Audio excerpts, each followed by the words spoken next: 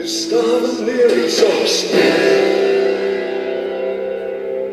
Everything I've done, I've done for you.